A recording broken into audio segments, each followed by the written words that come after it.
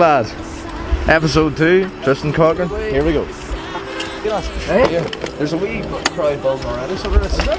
Yeah, yeah. Right, let me get it. Come on. Just, uh, you know, we're, we're, we're just going to give him a good, we're, we're going to give him a good send off. Let's just say uh, Tristan's going to bless him here. You. Tristan's our vicar for tonight. He's going to uh, give him a bit of holy water and shit. Holy water.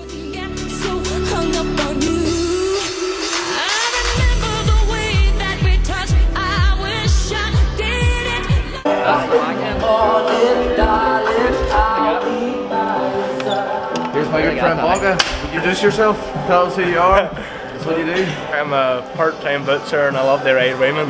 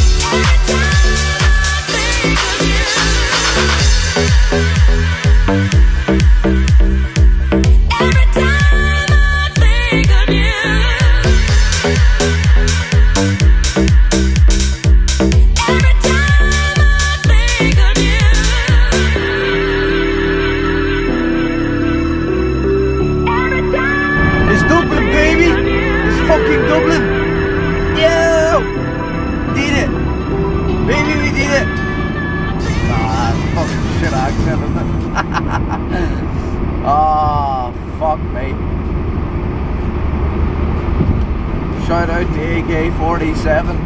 I'm probably going past your house as we speak. Or whatever. Shout out to Big Brian Ennis as well. I don't know whereabouts you're at, man, but probably fucking sleeping. But Robert Dani's in fucking town, boys. You.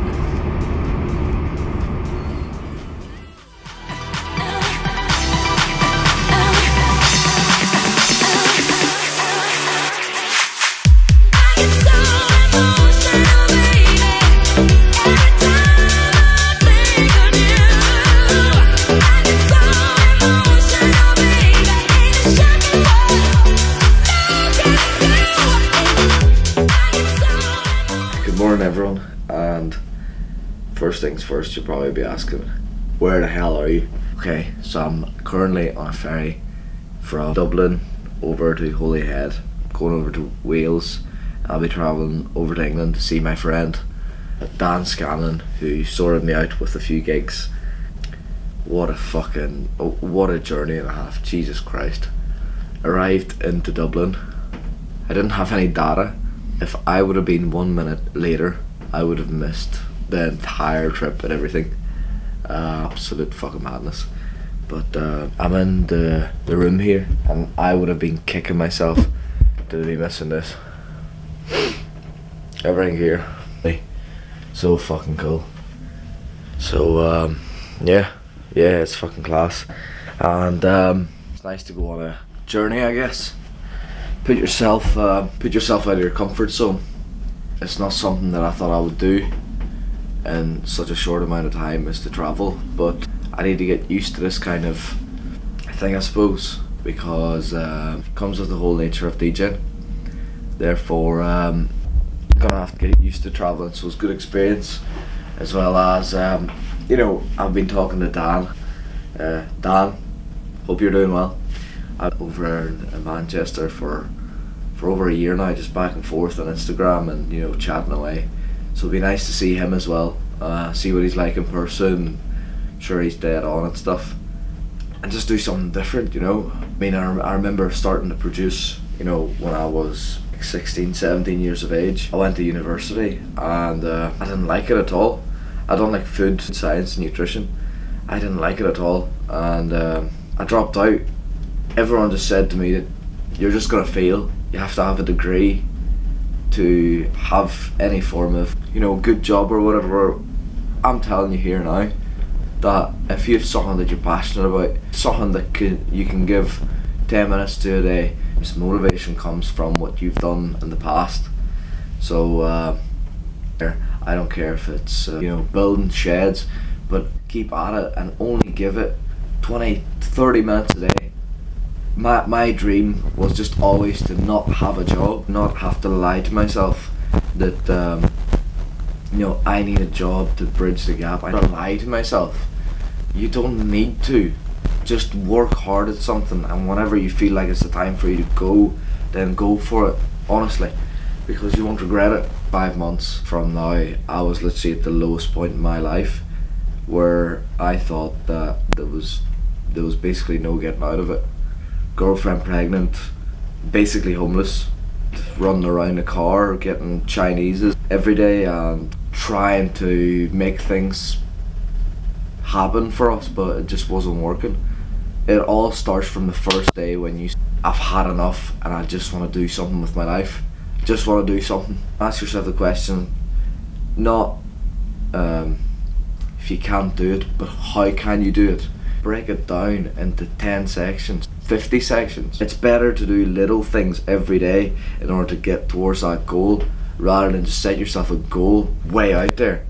But you know you're not going to take the steps to do it. For example, I've you know heard this quoted in a lot of different things, but you know if you, say if you wanted to to work out and say if you wanted to get fit, you go to the gym the first day, you come back home, you see no difference. The, the point is. If you put in a little work every day, six months or a year down the line, you will see the difference.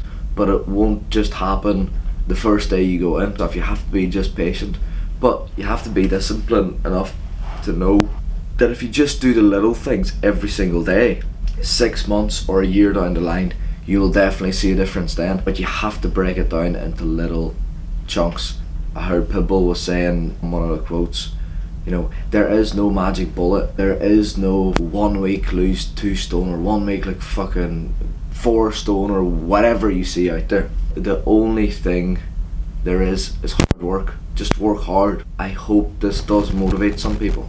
Like, no matter what situation you're in, there just keep going, no matter what, and set yourself little goals every day. Just stick to them. Don't don't let anyone tell you that it's not possible. Those same people will be the people the further down the line will tell you, oh, done so well, blah blah blah blah. But whenever you're trying to achieve, they'll never support you because you know, people can't see what you can see. People can't dream what you can dream. The same people that'll tell you it's not possible or there's only a not point, not whatever percentage of, say, being a great DJ, say, being famous, say, are the same people that are going to be stuck in the same shit life. So, my advice to you would be be around people that motivate you and motivate people yourself.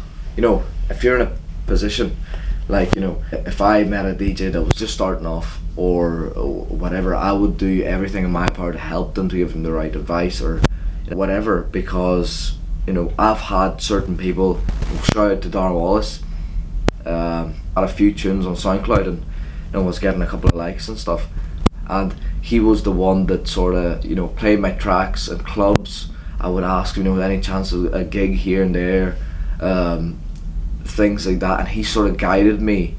Uh, uh, he still guides me today. He's still my role role model today. You know, so sh- shout out to you, Dan, because you know you're one of the people that inspire me to do better. So find people that can be your mentors. Find find people that inspire you. Find people that you know um, uh, you aspire to be like.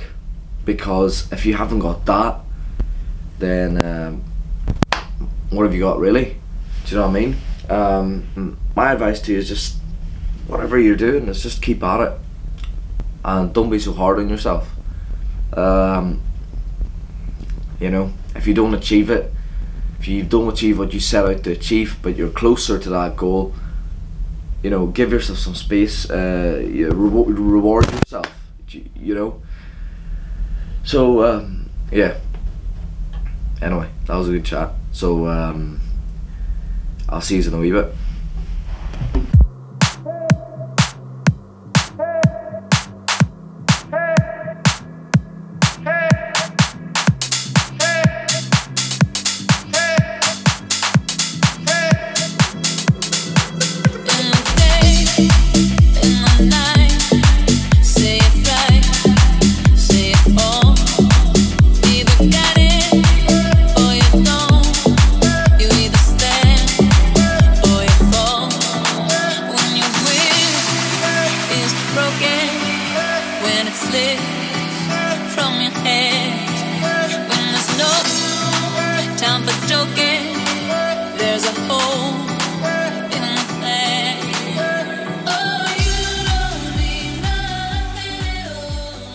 Right, guys. So we update on the situation. Um, obviously, you missed a lot from what happened in the last kind of kind of day or so, but I just didn't have time to sit down and you know really talk about it. So basically, landed Holyhead and uh, went on from there. Drove to a place called Warrington, which I'm at right now. It's a wee Premier Inn hotel and uh, I'm playing in a, in a warehouse which I will show you today. And I mean it's it's fucking huge. It's massive. Um, really really good experience. I think yesterday was kind of a, a tough one. That's why I didn't film any videos or anything like that. Um, literally you know the night before I only had two hours of sleep. That's the only sleep I got in like the last 24 hours. And then uh, or for that day even. And um, then after that had to drive from Holyhead to Warrington and I literally had about 15 minutes to get food and stuff and then I had to go straight to the warehouse at 12 o'clock to um, to play a set and I'm basically working from 12 o'clock until 12 o'clock at night so I was glad to get a uh, to get a sleep after that. Getting paid to be doing what you love doing and get paid good money for it is you can't match that feeling because no matter how tired I was yesterday, um, uh, the fact that you're doing it for yourself, the fact that it's just so refreshing. I'm working for me. I'm working towards my dream, which is what I've always wanted to do. An awesome feeling. I would, you know, greatly say if if you have something like that on your mind, really consider working for yourself because that's the best feeling. That's one uh, the best feelings. Um, so yeah, go for it.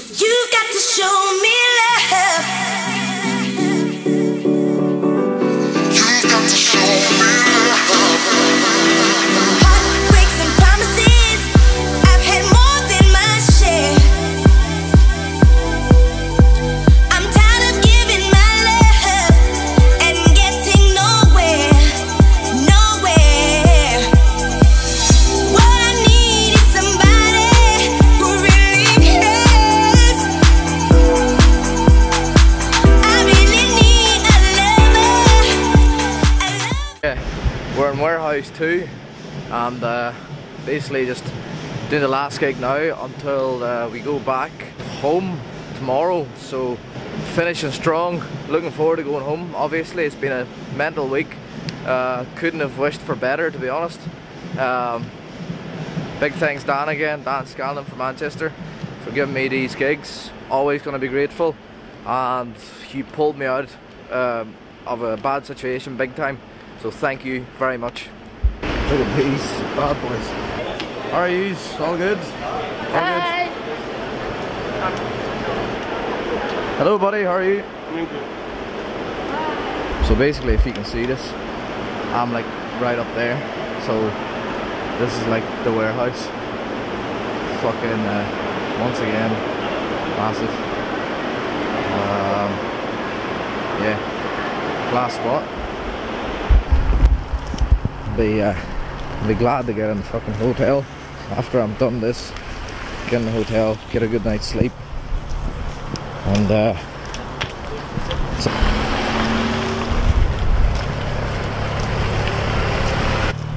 the sexy herself, Rachel's pride and joy. Video on now. and uh, the boat the boat cross, crossing won't be that. It's, it's pretty quick, like Yeah, you know. it'll be a flash. I booked myself. Uh, I booked myself one of those chairs. Never gonna believe this, hey? Did you make it? No, they wouldn't let me on. You're fucking lying. No, I swear now, I wouldn't be. I wouldn't be saying this.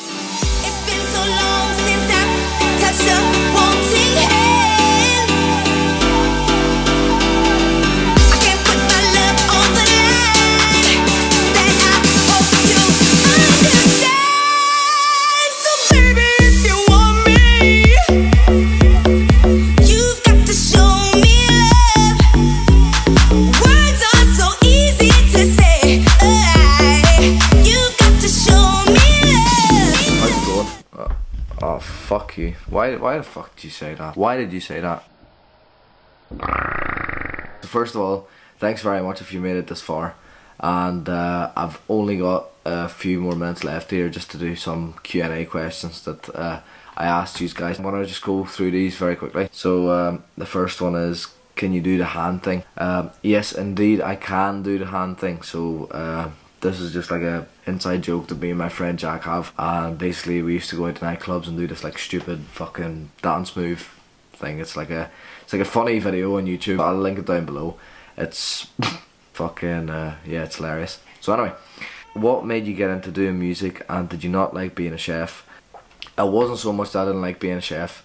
It was more that you just couldn't find the time to balance things. You'd be working from you know near enough twelve o'clock until 10, 11, maybe half 11 sometimes. It was mad. I enjoyed the company and everything. All the staff were really nice, but I just don't never thought that you got the recognition that you deserved, you know, doing your work. Whereas with music, you just, you know, you get a lot of perks with it. You get to travel. You, you could do that as a chef as well, like if you really want to be good. But I just love cooking for my family. I love cooking at home, and that's why I decided to be a chef. But obviously, it just wasn't for me long term. And um, I applaud people who can do it because you really have to be a strong person. It's taught me to stand up for myself and stuff. It's basically just for the amount of time you put into it, I don't think you get out as much as you would out of music per se.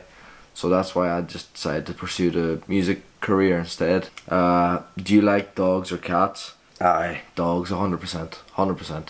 Um, never really had any good experience with cats. Always get fucking scratched and stuff, and they always run away from me, so fuck that. My dream dog is like a golden Labrador. So, like, as soon as I get the money, I'm, I'm definitely buying one. Like, as soon as I get like a garden and stuff, I'd love to buy a golden Labrador and take it out for walks and stuff. And anyway, um, next one, uh, where can I get your t-shirt? Basically, a t-shirt I've been wearing for most of this video was a Craft Club t-shirt. It's my own brand, which I've came up with not too long ago, and it's designed for for DJs and stuff to wear out. It's got a really cool logo at the back and stuff for like DJ photos and all. So you can just message the Instagram page and we'll be able to get you sorted there. On to the last question. Would you DJ over in England again? Uh, yeah, I would fucking love to. Like, you always see shows over there and you always see these big massive DJs playing over there, student nights and stuff. Especially, I would love to play at like a packed out like student night or something like that. I think that would be awesome. I really like traveling in England and stuff as well. Uh, But the only thing I would say is it's really fucking busy. The traffic's mental over there. So like you waste so much time. I think you need to rent out like a fucking driver or something so you get rest because you're in traffic like so much, you know.